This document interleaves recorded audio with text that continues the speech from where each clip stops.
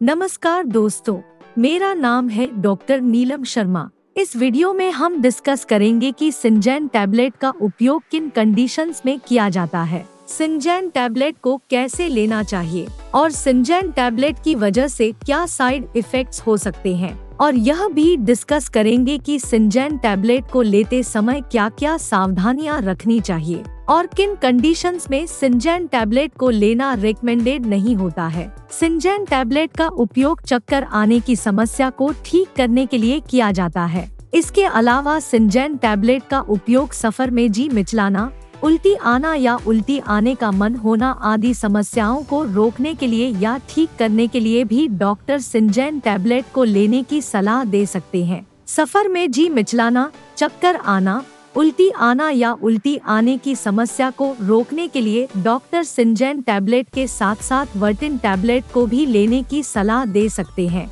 सिंजैन एक brand name है। सिंजैन tablet के अंदर सॉल्ट कंपोजिशन सिनार्जिन होता है। सिंजैन टैबलेट 25 एम व 75 एम की स्ट्रेंथ में अवेलेबल है। दोस्तों, अगर आपको वीडियो पसंद आ रहा है तो कृपया वीडियो को लाइक करना न भूले। अब हम डिस्कस करेंगे कि सिंजैन टैबलेट की वजह से क्या साइड इफेक्ट्स हो सकते हैं। वैसे तो ज़्यादातर व्यक्तियों में सिंजैन टैबलेट की वजह से कोई साइड इफेक्ट्स नहीं होते हैं। लेकिन कुछ परसेंट व्यक्तियों में सिंजैन टैबलेट की वजह से कुछ सामान्य साइड इफेक्ट्स हो सकते हैं, जैसे बदहज में नींद ज़्यादा आना और वज़न का बढ़ना आदि साइड इफेक्ट्स सिंजैन टैबलेट की वजह से हो सकते हैं। अब हम डिस्कस करेंगे कि सिंजैन टैबलेट को कैसे लेना रिकमेंडेड होता है। सिंजैन टैबलेट को खाना खाने के बाद लेना रिकमेंडेड होता है। सिंजैन टैबलेट एक डिस्पोसिबल टैबलेट है, जो पानी में अपने आप घुल जाती है। आपको सिंजैन टैबलेट को लेने से पहले पानी से भरे आधे या एक गिलास में सिंजैन टैबलेट को डाल लेना चाहिए।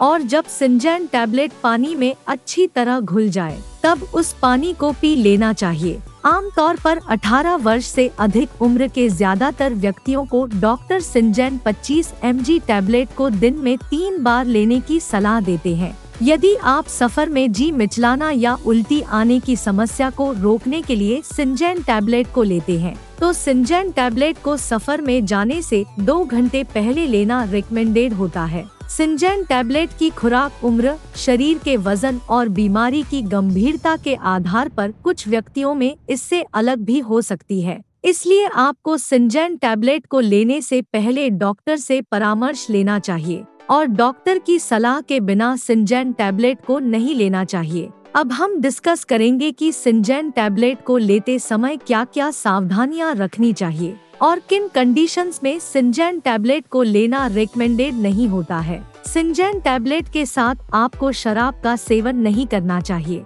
और सिंजैन टैबलेट को लेने के बाद ड्राइविंग नहीं करनी चाहिए और ऐसी मशीनों पर काम भी नहीं करना चाहिए। जिन पर काम करने के लिए अधिक मानसिक सतर्कता की आवश्यकता होती है, क्योंकि सिंजन टैबलेट को लेने के बाद कुछ व्यक्तियों को नींद ज़्यादा आ सकती है। पार्किंसंस डिज़ीज़ होने पर और लिवर या किडनी की कोई गंभीर बीमारी होने पर सिंजैन टैबलेट को बहुत ही सावधानी से दिया जाता है। इसलिए इन कंडीशंस में डॉक्टर की सलाह के बिना सिंजैन टैबलेट को नहीं लेना चाहिए। अगर किसी व्यक्ति को सिंजन टैबलेट या इसके किसी भी इंग्रेडिएंट से एलर्जी है तो ऐसे व्यक्तियों को सिंजन टैबलेट का सेवन नहीं करना चाहिए। और ऐसे व्यक्तियों को इसके बारे में डॉक्टर को भी बताना चाहिए। अब हम जानेंगे कि क्या प्रेग्नेंट महिलाएँ और स्तनपान करा रही महिलाएँ सिंजैन टैबलेट को ले सकती है या नहीं। प्रेग्नेंट महिलाओं और स्तनपान करा रही महिलाओं के लिए सिंजैन टैबलेट का सेवन करना रिकमेंडेड नहीं है। इसलिए डॉक्टर की सलाह के बिना प्रेग्नेंट महिलाओं और स्तनपान करा रही महिलाओं को सिंजैन टैबलेट को नहीं लेना चाहिए। वीडियो को देखने के लिए आपका धन्यवाद। अगर आपको वीडियो पसंद आया तो प्लीज़ वीडियो को लाइक कर देना, चैनल को सब्सक्राइब कर लेना। और अगर आपका सिंजैन टैबलेट से संबंधित कोई प्रश्न है तो आप कमेंट करके पूछ सकते हैं।